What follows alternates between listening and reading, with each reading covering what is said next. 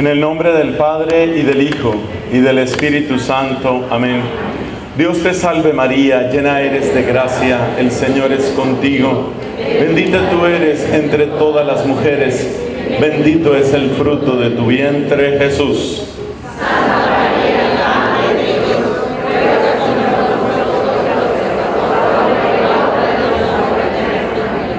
En el nombre del Padre y del Hijo y del Espíritu Santo. Amén. Pueden sentarse. Nuestra segunda F, la primera F son familias fuertes, la segunda F familias felices.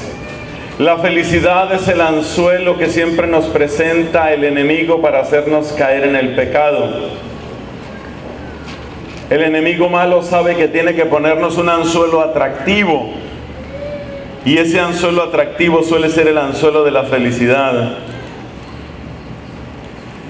Los peores problemas en la familia siempre vienen detrás de esta frase. Yo tengo derecho a ser, yo tengo derecho a ser feliz. Y cuando una persona dice esa frase, normalmente lo que sigue es que aplasta, destruye, pasa por encima de los demás.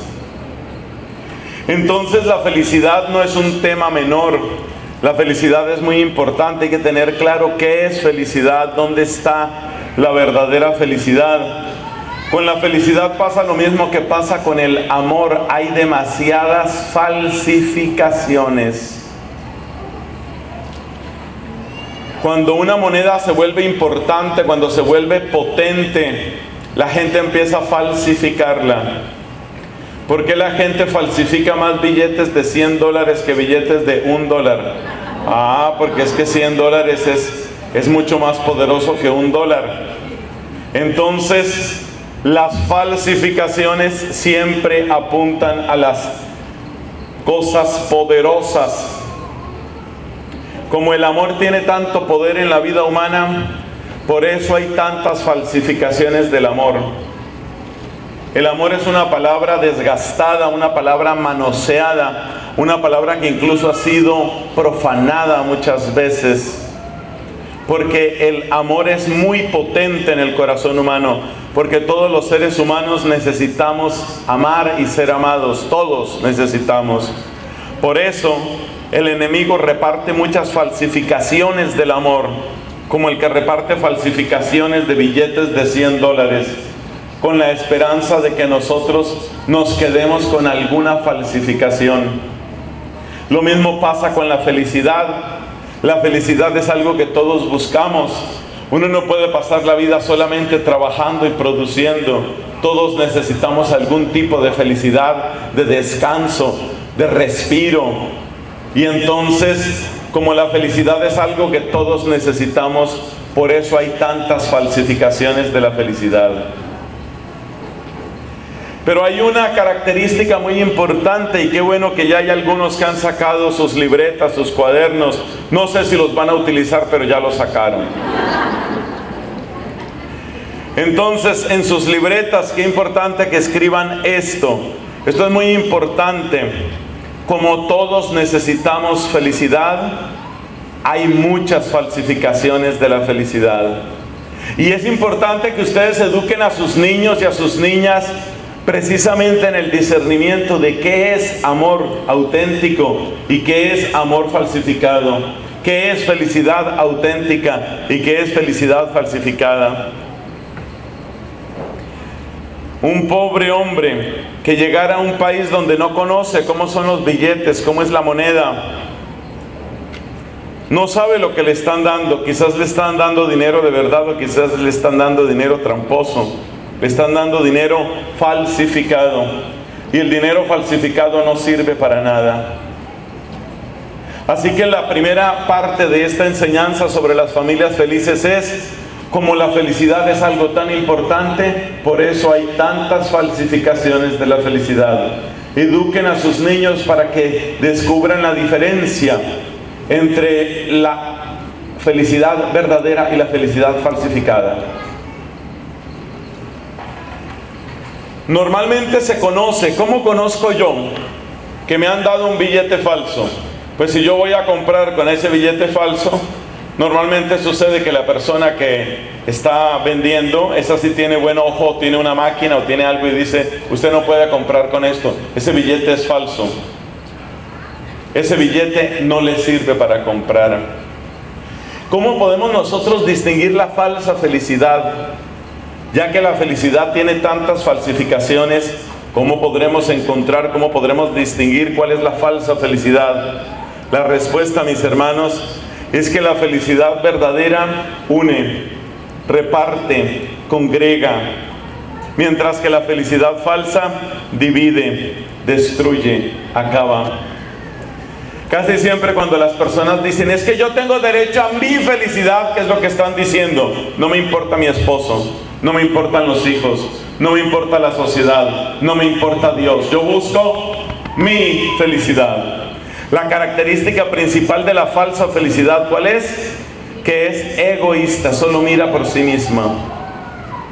Entonces la persona que busca su falsa felicidad dice, yo tengo derecho, yo como hombre tengo derecho a ser feliz. Pero resulta que tienes una hija que tiene 12 años de edad. Para esa niña que tiene 12 años de edad, ¿cuál es el héroe más importante de su vida? Su papá. Esa niña a los 12 años de edad se siente orgullosa de su papá, siente que su papá es su héroe, siente que su papá jamás podría engañarla, siente que su papá lo sabe todo, su papá puede con todo, su papá nunca le va a fallar. Un día ese papá la llama, le dice, hija, tengo que decirte algo muy difícil. ¿Qué es papá? ¿Qué nos pasó? La niña todavía sigue pensando en grupo. ¿Qué nos pasó? Hija, es que esto no lo vas a entender ahora, pero hace mucho tiempo que no nos entendemos con tu mamá. La niña empieza a confundirse, hay un torbellino horrible en su cabeza. Y termina diciéndole el papá, y entonces, pues yo me voy a ir. Y la niña rompe a llorar. ¿Y qué pasa unos años después? Esa niña a los 12 años se siente traicionada, se siente vacía, se siente herida. Esa niña a los 12 años de edad siente que el soporte más grande que había conocido le falla. Esa niña se queda sin un ancla, se queda sin un soporte, no sabe a qué aferrarse. Esa niña desorientada empieza a buscar malas amistades. Se los puede decir una persona, yo creo que con más de 20 años de sacerdocio ya uno conoce bastante jóvenes de ambos sexos. Para mí es muy triste cuando uno habla con una persona y dice, ¿y tú cómo llegaste al alcohol? ¿Por qué eres alcohólica? Ah, por un grupo de amigas. ¿Y por qué llegaste a ese grupo de amigas? Es que yo no quería volver a mi casa. Para mí la casa era un lugar muy triste y muy solo. Yo no soportaba mi casa. Por eso necesitamos hogares felices. Por eso necesitamos que los niños y las niñas se sientan felices en su casa. Pase lo que pase, tu hijo, tu hija tiene que sentir que su casa es su casa. Porque el niño que no encuentra alegría, que no encuentra confianza, que no encuentra acogida en su casa, lo va a buscar en los brazos que no son, en la boca que no es, en la calle donde le espera el vicio, donde le espera lo peor. Antes de cumplir el primer año de ordenación sacerdotal, ya yo tuve ocasión de atender a una persona que tenía una gran confusión en su orientación sexual, un muchacho homosexual. Y desde esa época hasta el presente he tenido que atender con el mayor gusto siempre a personas que sienten confusión en su orientación sexual o que se declaran abiertamente bisexuales o homosexuales. Es una parte de la población por la cual yo siento un gran respeto y una parte de la población por la cual yo siento también, si lo puedo decir así, cariño. ¿Sabe por qué? Porque he visto lo que hay detrás de esas personas muchas veces. Porque yo he visto los vacíos que tienen muchas de esas personas en la infancia o en la juventud. Me conmueve mucho el caso de una joven que duró varios años en distintas relaciones de tipo lesbiano o lésbico Y esta muchacha, ya entrando uno en confianza, ya averigua cómo son las cosas. El papá era ausente completamente de esa familia. El papá se limitaba a ser un proveedor de dinero, no daba más. Esta muchacha tenía como única referencia a la mamá. Solo la mamá, solo la mujer era autoridad, la mamá era la que mandaba, la mamá era la que disponía, la mamá era la que hacía todo en la casa. El papá únicamente firmaba las cuentas. Esta muchacha en medio de esa soledad y de esa ausencia paterna descubre un día una cierta amiga y esa amiga tenía el corazón roto porque esa amiga también tenía su propia historia y esa amiga acababa de salir de una relación horrible, también una relación lesbiana o lésbica.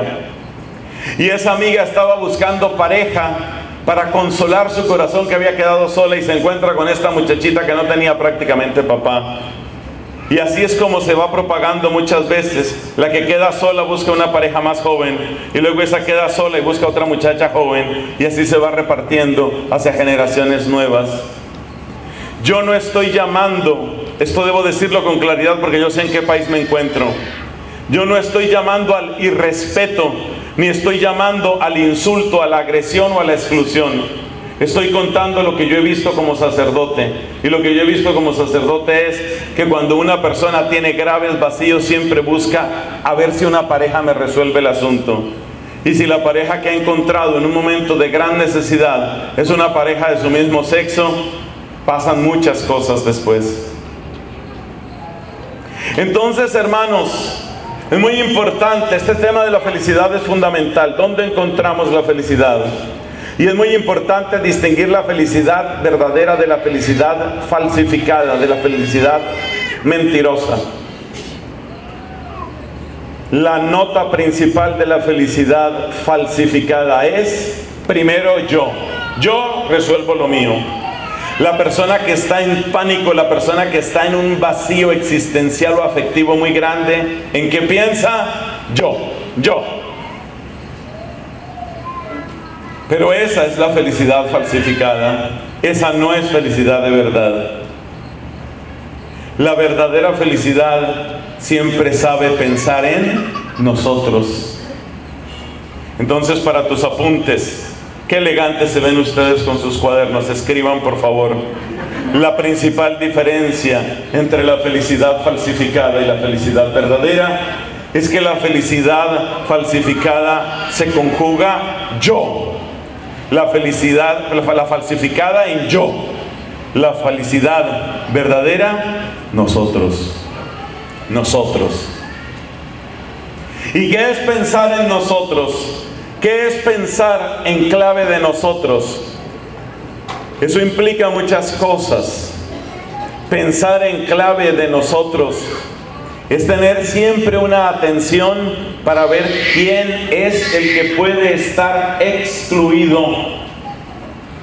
La pregunta más importante para los papás y para las mamás, que debería ser también la pregunta más importante para los gobiernos, y para las congregaciones religiosas, la pregunta más importante es ¿a quién estamos excluyendo del banquete de la felicidad? Cuando nosotros aprendemos a pensar la felicidad en clave de nosotros, quiere decir que estamos siempre pendientes quién se está quedando por fuera. A veces sin darnos cuenta empezamos a excluir de la mesa de la felicidad a muchos sin siquiera contarles y sin pedirles permiso. Excluimos de la felicidad con mucha facilidad a la persona anciana, a la persona enferma, a la persona discapacitada. Con mucha facilidad los excluimos de la felicidad. En la planeación de unas vacaciones hay espacio para ese abuelo que tiene la movilidad tan reducida. ¿Cuántas veces al planear, al pensar en las próximas vacaciones, vamos a ir a tal parte, vamos a hacer, vamos a subir, vamos a bajar? Y el abuelito de avanzada edad, ah, no, pues ese que se quede, le, dejamos una enfermera que, vaya ahí unas, unos días. ¿Y él cuándo va a descansar? Él que ya se sabe de memoria los canales de su aparato de televisión. ¿No te das cuenta que la persona que está con esa limitación difícilmente puede pedir algo? ¿No te das cuenta que la persona que tiene la movilidad reducida o la persona que ha fracasado en la vida, no te das cuenta de que esa persona muchas veces ni siquiera se atreve a pedir? ¿No te das cuenta que el ser humano se cansa de estar siempre pidiendo? Por eso, el que piensa la felicidad en términos de nosotros siempre está atento a quién estamos excluyendo en esta casa. Los dramas que uno se encuentra a veces. Yo bendigo a Dios, yo le doy gracias a Dios que sin mérito propio me eligió para esta vocación tan hermosa. Y soy feliz de ser sacerdote y le pido que me guíe y que me ayude para servir. Pero te digo, gracias.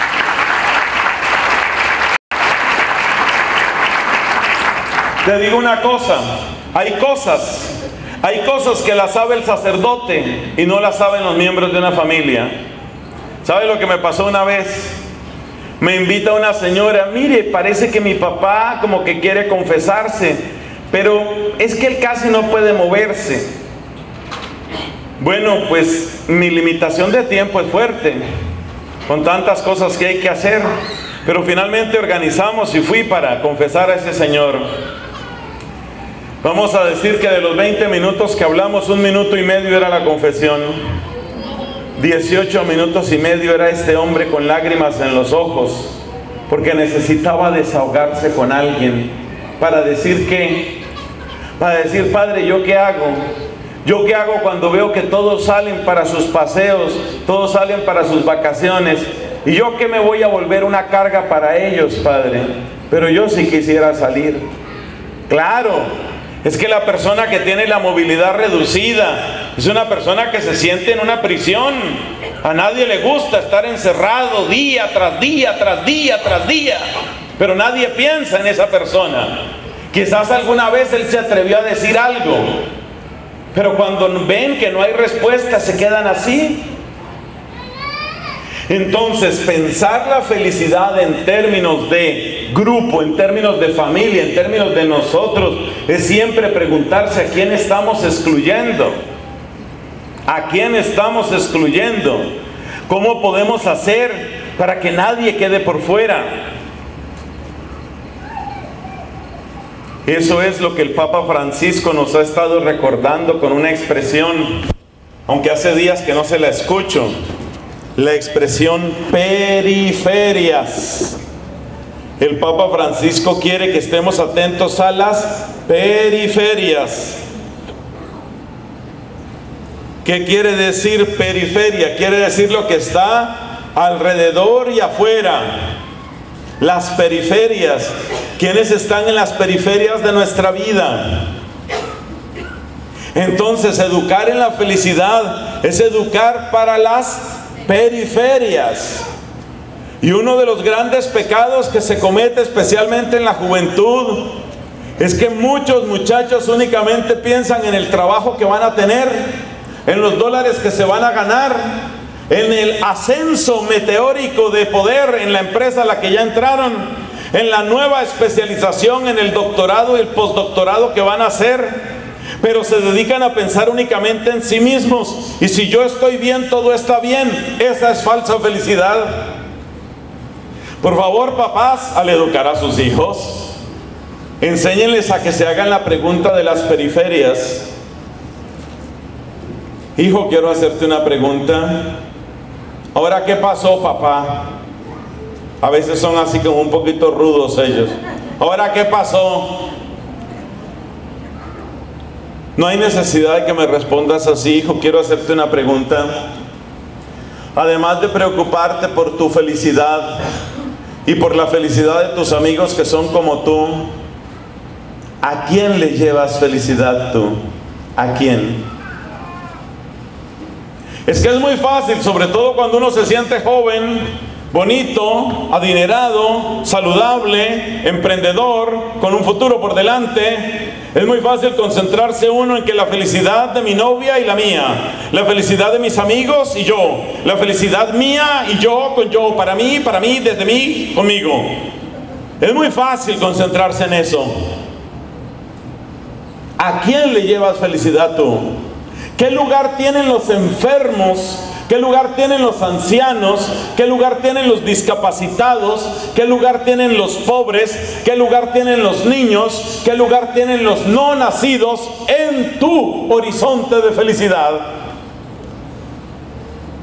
Esa es una pregunta vital porque cuando nosotros empezamos a excluir de nuestro horizonte de felicidad a otras personas, un día esas personas se cansan de no existir. ¿Qué tal esa frase? Un día esas personas se cansan de no existir.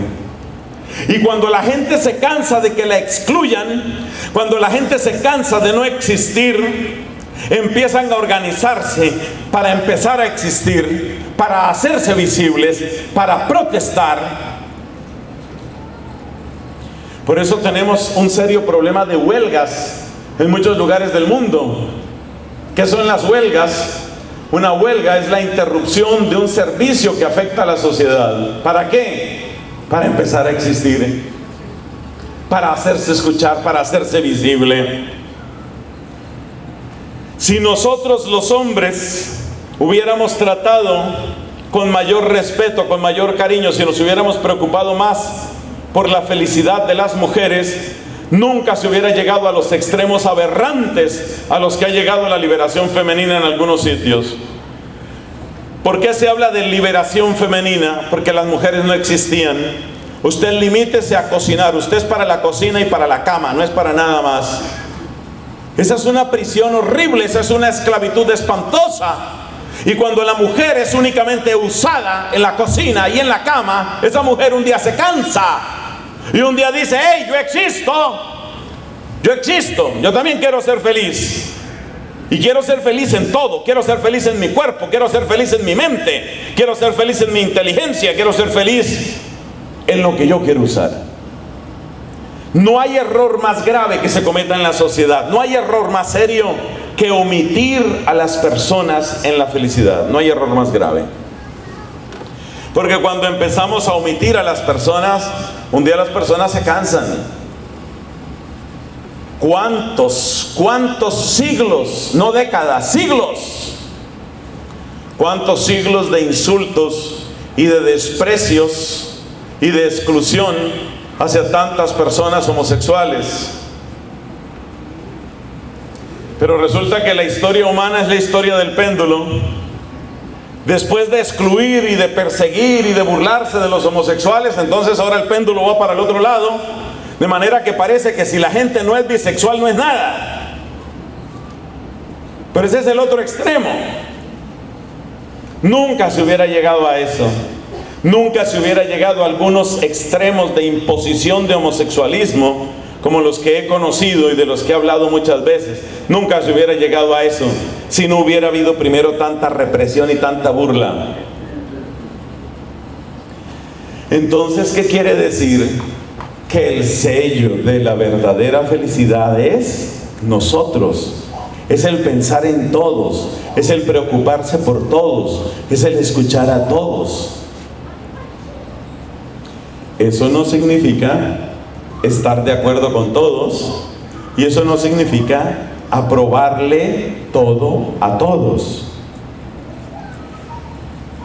Yo creo que el mejor ejemplo lo da la propia familia. Una buena mamá mira a cada uno de sus hijos y lo conoce, los conoce, sabe cómo son. Eso no significa que la mamá esté de acuerdo con todo lo que hacen los hijos. A los hijos muchas veces hay que educarlos, hay que corregirlos muchas veces. Pero lo importante que es no excluirlos. Entonces, hermanos, ahí vamos avanzando. Lo primero que hemos dicho es La felicidad es algo muy importante. Y lo segundo que hemos dicho es, como es tan importante, hay muchas falsificaciones. La gran diferencia entre la felicidad falsificada y la felicidad verdadera es que la felicidad falsificada siempre se concentra en yo y termina excluyendo del horizonte a otras personas. A mí solo me interesa mi novio, mi paseo, mi amigo, mis amigas, mi carrera, mis estudios, lo demás que se pudra. Ahí está el error. La felicidad auténtica siempre está pensando, siempre está buscando quién se nos está olvidando. Y repito rápidamente una lista de personas a las que solemos olvidar. Solemos olvidar al enfermo. Ese enfermo ya se sabe que está enfermo, ya se sabe que se queja, ya se sabe que es aburrido, ya se sabe, queda por fuera. Excluimos al adulto mayor, excluimos a las personas discapacitadas. En muchas familias, cuando hay una persona discapacitada, y hay distintos grados de discapacidad, distintos tipos, muchas veces lo único es excluirlo, como si no existiera. A veces excluimos a los niños, a veces excluimos a los extranjeros, a veces excluimos a los pobres, esa es la felicidad egoísta, esa es la felicidad falsificada. La felicidad verdadera busca siempre a quién estamos olvidando, quién se nos está olvidando. ¿Cómo podemos llegar a la felicidad verdadera? ¿Cómo podemos repartir esa felicidad verdadera? ¿Cómo podemos aumentar el cociente de felicidad de nuestras familias? Un asunto que es vital. Si tu familia es, en todas las familias hay problemas y hay discusiones, pero si tu familia es en general un lugar feliz, alégrate, porque eso significa que en un momento de dificultad, ese hijo o esa hija, en primer lugar va a buscar ayuda en su familia. Y ese es el mejor lugar. ¿Cómo se construye la felicidad? Hoy tenemos una gran cantidad de literatura y tenemos muchos, diría yo, predicadores de la felicidad. A veces nos presentan la felicidad únicamente en términos materiales. Compre esta casa y será feliz. Pero después de que compras esa casa, te muestran otra más grande lo que le hace falta para ser de verdad, de verdad feliz es esta otra más grande. Y cuando ya te metes en otra deuda para conseguir esa, no se le olvide que hay otra, el nuevo modelo. Decía con bastante inteligencia un psicólogo de este país, decía, la mentalidad capitalista se alimenta de la infelicidad, es decir, de mantenerte siempre insatisfecho. Muchos de nosotros tenemos estos aparatos, ¿no? Los teléfonos inteligentes. El primer reto con un teléfono inteligente es ser uno más inteligente que el teléfono. Tenemos aparatos inteligentes, pero ¿de qué se alimenta esta industria? Se alimenta de que cada año nos dicen, llegó el otro, ¿y cuál modelo tienes? Yo tengo el modelo K45. Oh, no, estás atrasado. Ya vamos en el K49 Plus. Y entonces tú llegas a tu casa con tu modelo K45 y dices, ¿verdad qué hago yo con esta basura? Y sirve perfectamente.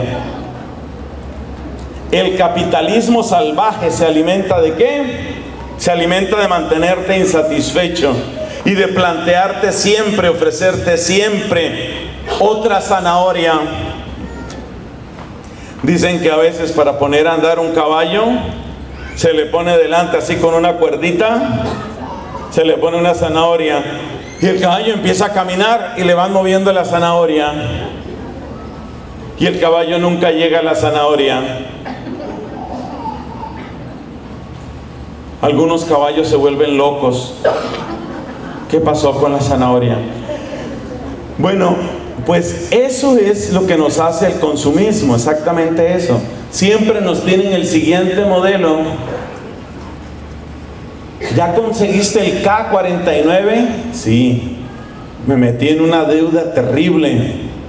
¿Y cuándo lo vas a terminar de pagar? No sé. No lo tengo claro. Lo único que sé es que cuando lo termine de pagar ya estará el K53, el K85 y finalmente en el ataúd le meten el K94.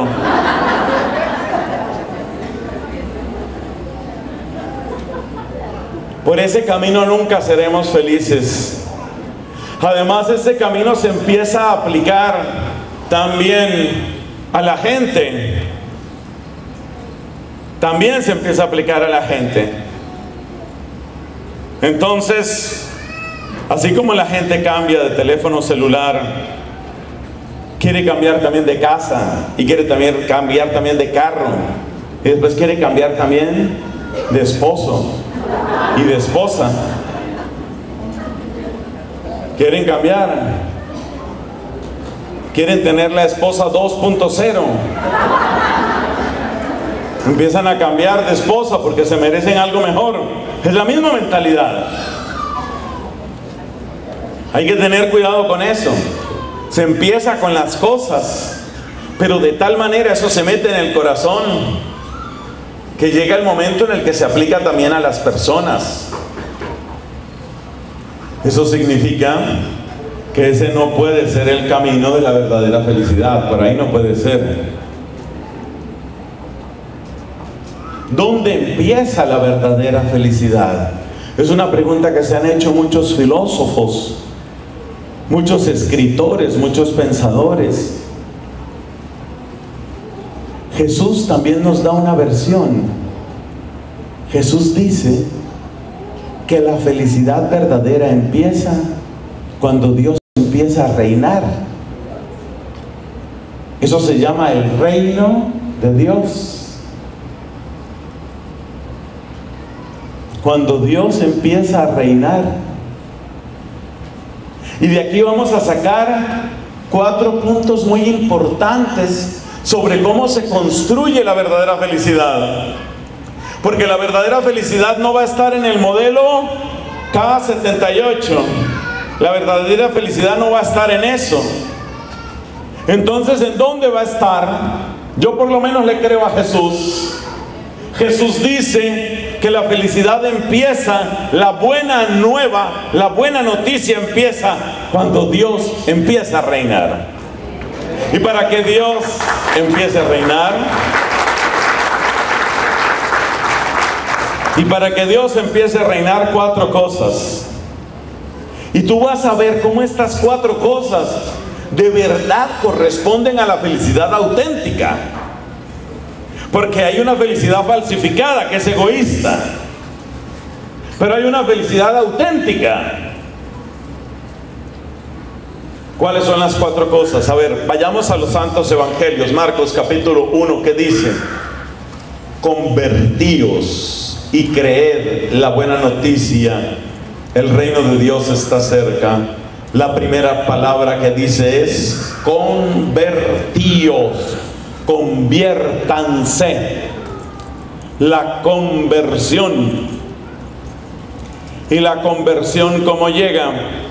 La conversión llega a través del arrepentimiento.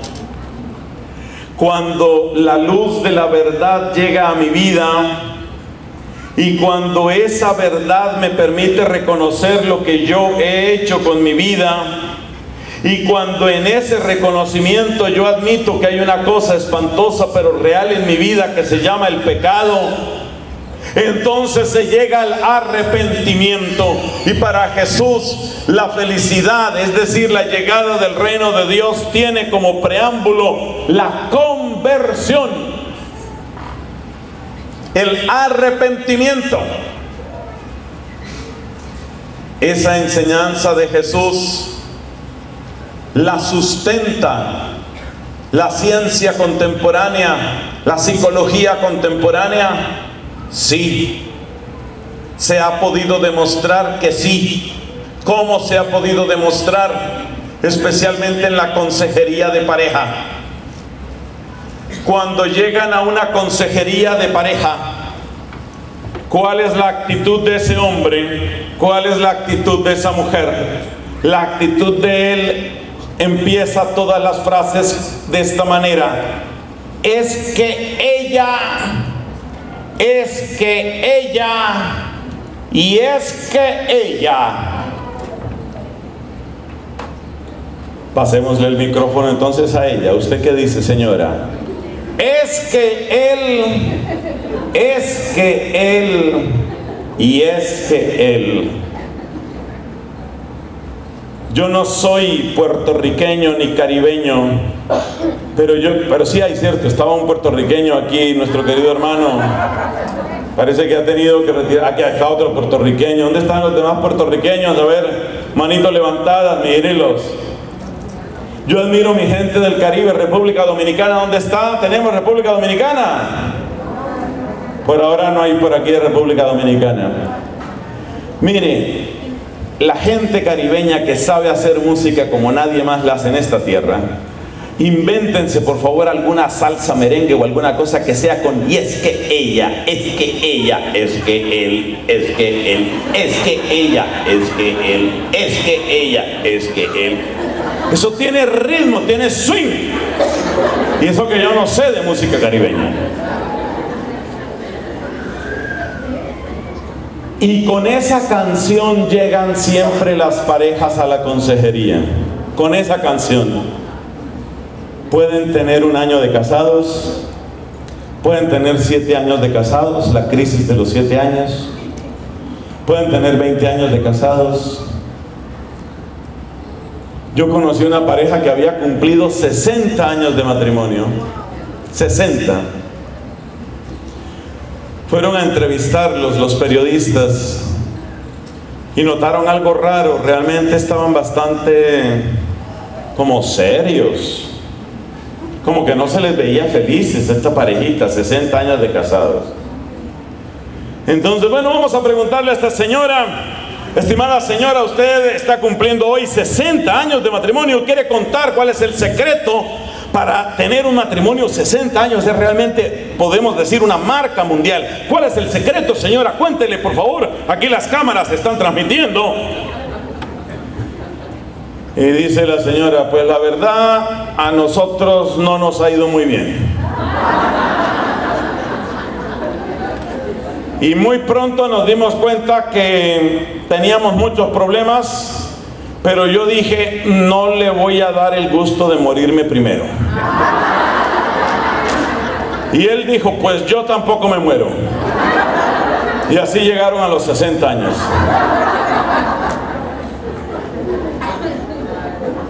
...60 años de matrimonio. Sea con 60 años, con 20 años o con un año de casados, cuando tienen pelea siempre es un dedo que acusa, ¿no? Es que ella, no, es que él. Es que ella, es que él, es que ella, es que ella, es que él. Y ahí se la pasan. Esa es la canción de todas las parejas en problemas. ¿Cuándo se acaba esa canción desastrosa, esa canción infernal? ¿Cuándo se acaba? El día en que qué? No, no, no, sea optimista, hermano. No, no, no, no, no. No, ya me dejó triste usted. ¿Cuándo se acaba esa canción? ¿Cuándo se acaba? ¿Cuándo qué? Cuando se convierte, por ahí vamos. ¿Cuándo se acaba la canción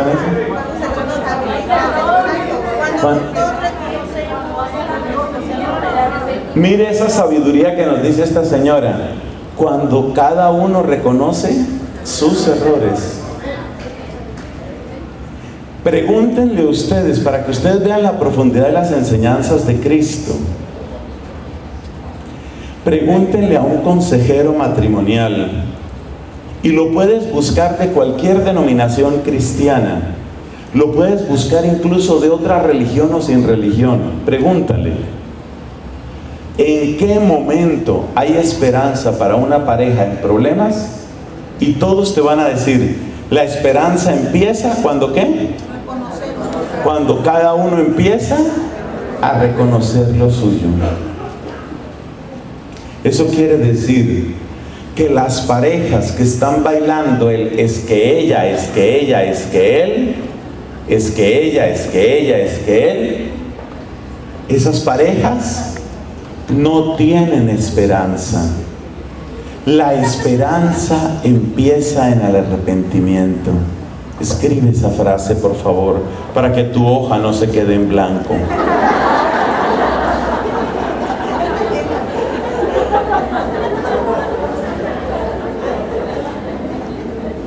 Mí esa frase, a mí esa frase me parece tan profunda. La esperanza empieza, ¿dónde empieza? En el arrepentimiento. A uno no se le ocurre fácilmente esa idea. Y lamentablemente tenemos muchos psicólogos que nos venden una especie de psicoterapia light, que es más o menos como dicen en México lindo y querido, échele ganas, échele ganas. No, un matrimonio no se salva con solo echarle ganas. No. Porque el corazón humano está diseñado para una cosa que se llama la verdad. Y donde no hay verdadero reconocimiento, no hay verdadera unión. Entonces, pasos para construir verdadera felicidad. Primero, conversión y requisito para la conversión, el arrepentimiento. Requisito para el arrepentimiento, la apertura de todo mi ser a la verdad de Dios. Una vez me contaba un psicólogo este no trabaja en asunto de religión ni nada de eso, sino él atiende parejas. Pero me contaba la historia de una pareja que estuvo atendiendo. Y resulta que la señora siempre decía, es que ese no es el hombre que yo me merezco.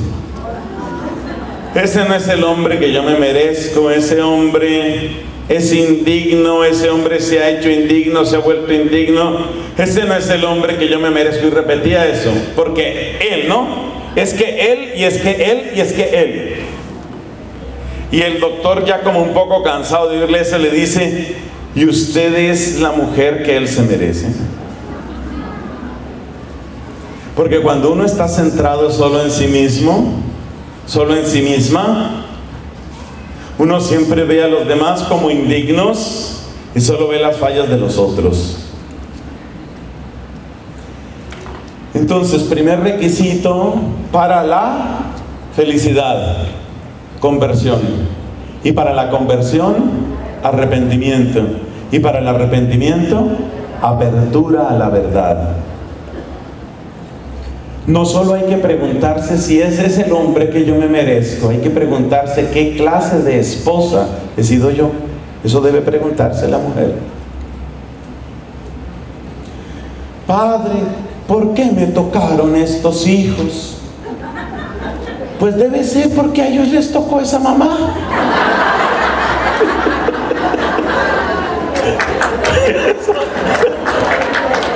Es que uno no ve a veces. No, no ve a veces. A veces es cómodo no ver. Uno no ve. Entonces, qué hermoso entrar por el camino de la conversión. Y ya dijimos, para la conversión, arrepentimiento. Y para el arrepentimiento, apertura a la verdad. Segundo, Jesús dice, convertíos y Creed, creed en la buena nueva, dice Jesús. Marcos capítulo primero. O sea que la felicidad tiene fe, tiene una dosis de fe. Pero de nuevo hay un problema, que hay una psicoterapia light que nos vende la felicidad como cree en ti mismo, cree en tu país, cree, cree, ponle fe, échale ganas. Cree, cree en algo, lo que sea, el gusano morado, lo que sea, cree.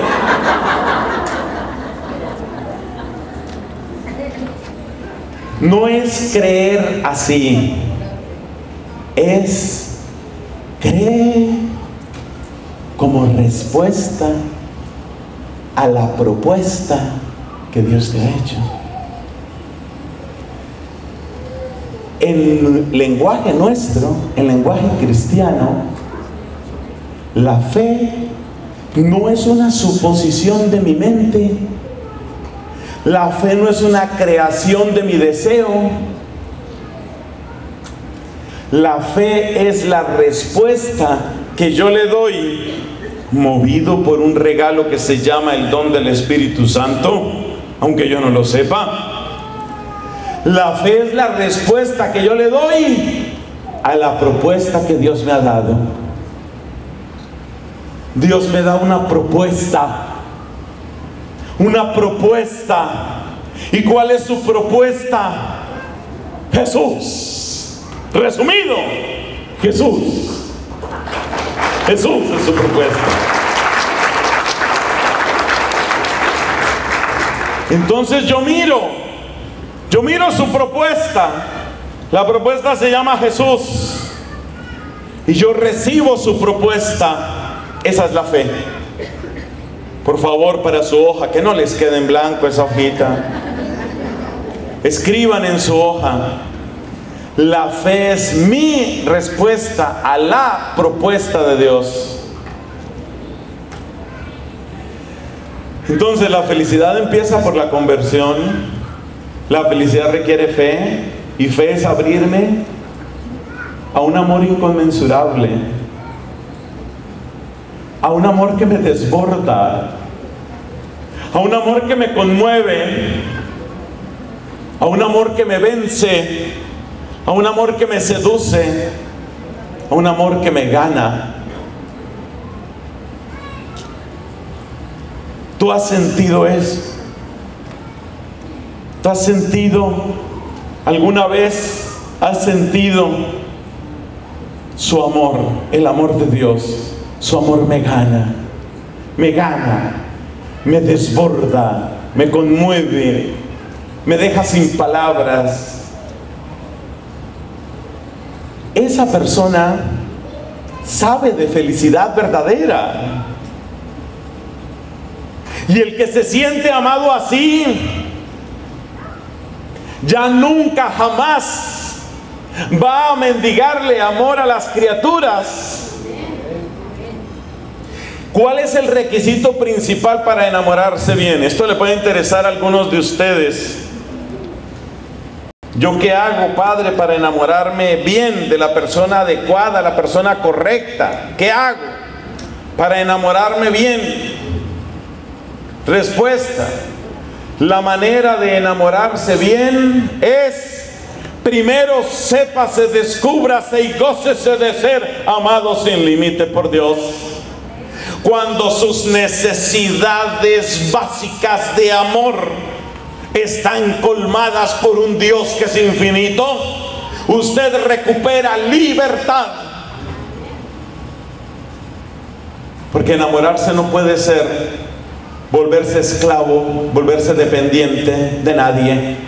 Si tú te vuelves dependiente de ese hombre porque tú dices, este es el último que queda.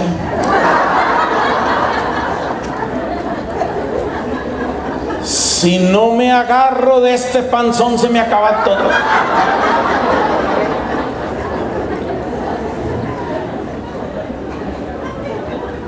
Eso no es amor, eso es dependencia. Y la persona que llega a una relación afectiva en clave de dependencia ya empezó mal. Porque la persona que llega en clave de dependencia ya le está diciendo al otro, maltrátame, úsame, abusa de mí, a una relación de afecto, una relación de pareja, ambos deben llegar con toda la plena dignidad y ambos deben llegar con toda la plena libertad. Lo hermoso del verdadero enamoramiento es, yo puedo vivir sin ti, tú puedes vivir sin mí, pero qué hermoso que estés en mi vida, qué hermoso que yo esté en tu vida. Por ahí sí es, ese es el plan de Dios, ese es el plan de Dios. Observen en Génesis capítulo 2 la expresión que utiliza Adán. Cuando Dios le presenta a Eva, ¿quién le entregó ese regalo precioso a Adán? Dios. Así debe ser toda pareja. Esta mujer me la dio Dios. Este hombre me lo dio Dios. Solo desde la libertad se elige bien. Solo desde la dignidad se elige bien.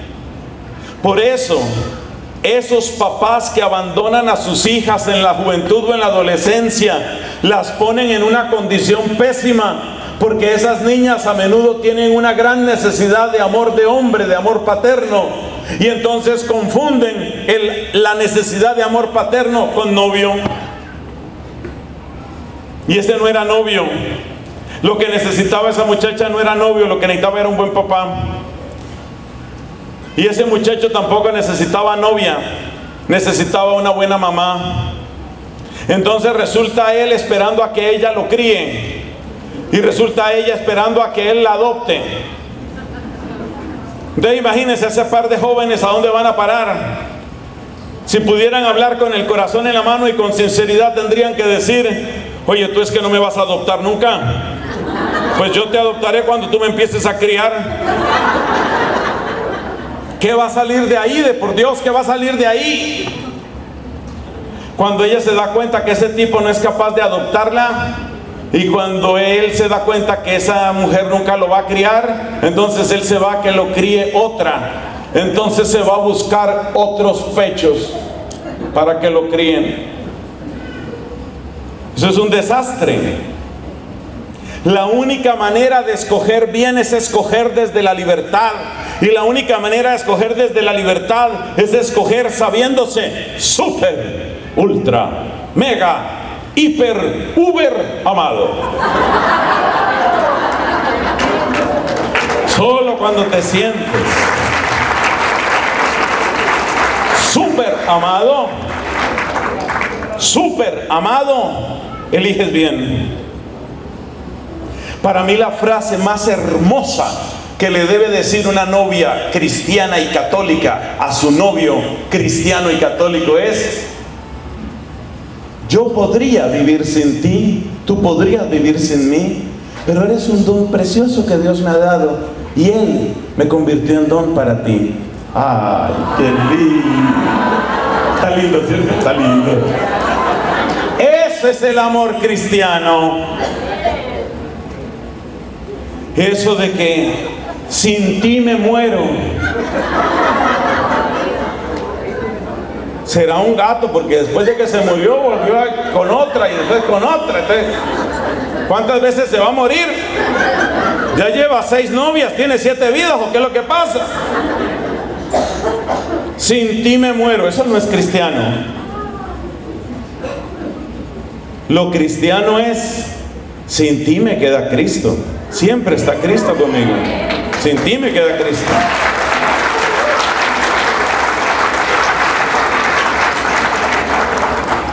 Llevamos dos, ¿no?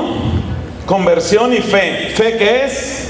Abrirme a la propuesta de Dios para darle mi respuesta. La fe es respuesta. Tercer ingrediente, dice Jesús, convertidos y creer la buena noticia. La buena noticia es el Evangelio de Salvación. Tercer ingrediente de la verdadera felicidad, conocer el Evangelio. Hay una expresión que utiliza Jesucristo en el capítulo 15 de San Juan Jesús dice a sus discípulos, ustedes ya están limpios por las palabras que les he dicho. O sea que la palabra de Cristo nos lava, nos limpia, nos quita los ídolos. ¿Cuál es la gran tentación con la felicidad falsa? Los ídolos. Pensar que si yo tuviera más dinero, que si yo tuviera una mujer más bonita, que si yo tuviera un hombre con más plata, que si yo consiguiera, ahí sí sería feliz. Son ídolos. El demonio siempre pretenderá gobernar tu corazón a partir de ídolos. El corazón limpio de ídolos es un corazón con el que nada puede el demonio. No puede, no puede nada. Mira, la serpiente, esto no es Pac-Man, sino la serpiente. Claro, los más jóvenes no saben qué es Pac-Man. Yo entiendo eso perfectamente. hay una cantidad de gente joven que no sabe qué es Pac-Man. Los entiendo, los miro con caridad. Bueno, la serpiente, la serpiente para atraparte necesita morder. ¿En dónde muerde la serpiente? En tu deseo idólatra. Si tú tienes un deseo idolátrico, dinero, dinero, así como el monstruo que decía galletas, galletas, galletas. Si tú buscas el dinero como ese monstruo busca galletas, el demonio tiene donde morder. ¿En dónde te muerde? En tu deseo de... De galletas, dice.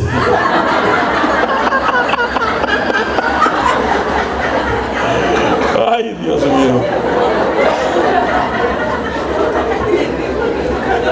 ¿En dónde te muerde la serpiente? En tu deseo de dinero, en tu idolatría, en tu idolatría. Un corazón libre de ídolos es un corazón donde no puede morder la serpiente. Entonces no puede entrar la felicidad falsa. ¿Y quién es el que me va a limpiar el corazón de ídolos? El poder del Evangelio de Jesucristo. Muchos de nosotros hemos aprendido desde niños a tener una rutina sana de higiene de nuestra boca. Es necesario lavarse la boca varias veces al día. Nos han enseñado y en todo caso siempre, siempre al final en la noche lavarse muy bien la boca. Eso nos lo han enseñado desde que éramos niños. Se necesita también una rutina de limpieza del corazón. ¿Por qué limpias tanto tu cuerpo y limpias tan poquito tu alma? ¿Por qué limpias tanto tu cuerpo y limpias tan poquito tu mente? ¿Por qué cuidas tanto la limpieza de tu cuerpo y cada vez inventan más productos, productos sofisticados de higiene? Les presentamos la nueva tapita de jabón. Esta tapita de jabón está diseñada especialmente para limpiar una parte muy importante de tu cuerpo. ¿Te has dado cuenta cuántas bacterias hay exactamente en el pliegue de tu oreja? El pliegue de tu oreja tiene numerosas bacterias que se van acumulando y que un día se comen todo tu cerebro. ¿Verdad? Sí, por eso hemos inventado el jabón tapita. El jabón tapita te quita las bacterias que tienes detrás de la oreja. Especialmente si tú utilizas Bluetooth, es peor, es mucho peor.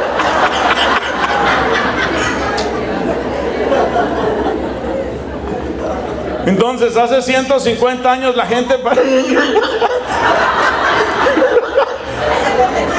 hace 150 años la gente para asearse que utilizaba un jabón. Después, no, no, no, no, se necesita jabón, pero se necesita también el champú. Se necesita el jabón, pero también se necesita el gel de baño, pero también el champú, pero también el acondicionador, pero también Así que dentro de poco vamos a tener el jabón tapita para el pliegue, no se les olvide, el pliegue aquí de la oreja, ahí es donde se alimentan unas bacterias, son unas bacterias terribles, algunas de esas bacterias se entran y empiezan a comerse paso a paso, se van comiendo sistemáticamente. Hasta que logran que uno compre, al, siguiente día llega uno al supermercado y uno se hace el bobo y, y echa jabón tapita. ¿Por qué cuidamos tanto la higiene de nuestro cuerpo? Y se nos olvida que hay que limpiar el corazón de ídolos. ¿Quién te hace esa limpieza profunda? Dios, Cristo. ¿Cómo lo hace? A través de su palabra. Esa es la parte que quiero destacar. ¿Cómo hace Dios la limpieza profunda de tus pensamientos? A través de sus pensamientos. Escriba esa frase, por favor. Se me quedan mirando y no escriben. ¿Cómo hace Dios la limpieza profunda de tus pensamientos? A través de sus pensamientos. Repito esa frase. ¿Cómo hace Dios la limpieza profunda de tus pensamientos? A través de sus pensamientos. ¿Y cómo te llegan los pensamientos de Dios? Leyendo, meditando la santa palabra. Todos los días lavas tu boca todos los días haces aseo a tu cuerpo. Te pido que todos los días le hagas aseo a tu corazón con la santa palabra. Todos los días. Todos los días. Todos los días. ¿Quién le da un aplauso a la santa palabra de Dios? Esa es la escuela de la verdadera felicidad. Conversión, fe, que es apertura a la propuesta del amor de Dios en Cristo Santa palabra, la buena nueva. Convertíos y creed la buena nueva. El reino de Dios ha llegado. El reino de Dios está cerca. Y aquí me voy yo a la segunda carta de San Pedro. Hermosamente nos dice este apóstol, aguardad y apresurad la venida del Señor. Ama San Pedro. Aguardad y apresurad la venida del Señor. O sea que si el reino de Dios está cerca, ¿qué tengo que hacer yo? Aguardar, pero también apresurar. ¿Y cómo se puede apresurar eso? Cuando yo voy compartiendo la conversión, la fe y la palabra. A medida que Dios va reinando en mi vida y a medida que Dios a través de mí va reinando en otros corazones, estoy apresurando la llegada del reino de Dios. Entonces, necesitamos para construir verdadera felicidad aprender a compartir nuestra fe. Nada de avergonzarse de Jesús, nada de avergonzarse de Cristo. Jamás compartir nuestra fe. El mismo apóstol Pedro en su primera carta nos había dicho que tiene que ser con buena conciencia y con respeto. El compartir de la fe. Entonces, ¿cuál es la receta de la felicidad según la Biblia? Yo saco estos cuatro puntos. Arrepentirse de los pecados, abriéndose a la verdad de todo lo que yo soy ante Dios conocer y acoger en mi corazón la propuesta máxima del amor divino que es Cristo Jesús, hasta sentirme invadido, desbordado por su amor, que supera todo lo que cabe en palabras. Tercero, dejar que Dios limpie continuamente mi corazón y mi mente con su santa palabra meditada y con la que yo comulgo. Cuarto, compartir esa fe, compartir mi esperanza compartir mi amor con otros para que también en ellos reine Dios. Papás, mamás, ¿ustedes están educando así a sus hijos? ¿O ustedes están dejando que sea el mundo el que les diga dónde está la felicidad? Porque si uno enciende un aparato de televisión, de inmediato aparecen para ser feliz lo único que necesitas es un abdomen plano. Para ser feliz necesitas que te vuelva a salir cabello. Para ser feliz tienes que irte a las islas del paraíso. Para ser feliz tienes que vivir en esta casa. Para ser feliz los medios de comunicación no paran su catequesis permanente sobre cómo se supone que debemos ser felices. Por eso a mí cada vez me da más pereza encender un aparato de televisión ¿Sabe qué me ha sucedido varias veces? Cuando estoy en estas predicaciones y me hospedan en algún hotel, como es el caso también ahora, les cuento que yo llevo meses, literalmente meses de misiones, donde yo utilizo una habitación incluso varios días y no enciendo ni una vez el aparato de televisión. No me interesa. Yo sé en dónde está la fuente y no es en esa pantalla, no es ahí, está en otra parte, la fuente está en otra parte. Entonces la gran pregunta es esta. ¿Quién está enseñándoles a tus hijos cuál es la felicidad? Y le estoy abriendo los ojos. Sí, se los estoy abriendo. ¿Quién está enseñando a tus hijos cuál es la felicidad? ¿Quién? Porque si es la televisión, I'm sorry, you're in trouble. Estás mal.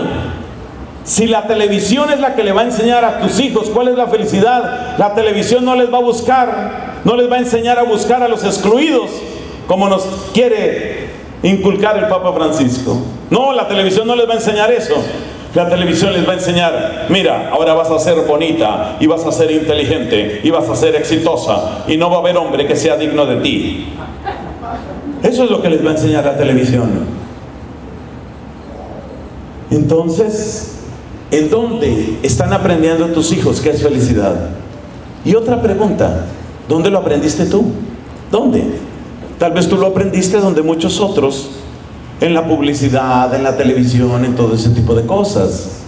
No tiene nada de extraño que después tu felicidad sea egoísta, la felicidad de tu esposo sea egoísta. Y si la felicidad de tu esposo es egoísta y tu felicidad es egoísta, ¿qué van a decir?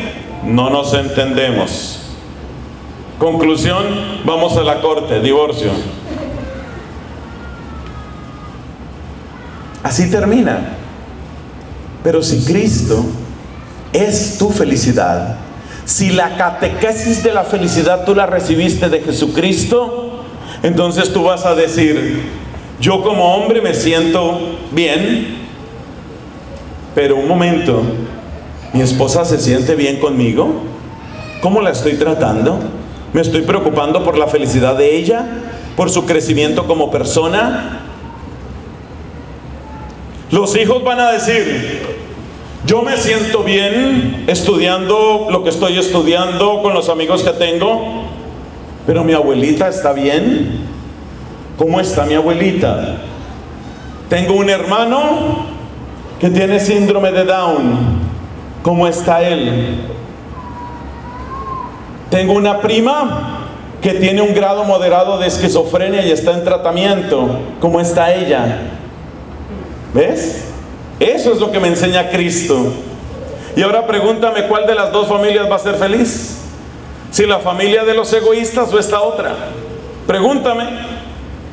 Entonces ahora ya sabes cuál es el secreto que nos da Cristo. El camino es arrepentimiento, fe, dejar que tu corazón lo limpie la palabra y compartir aquello que eres y que crees.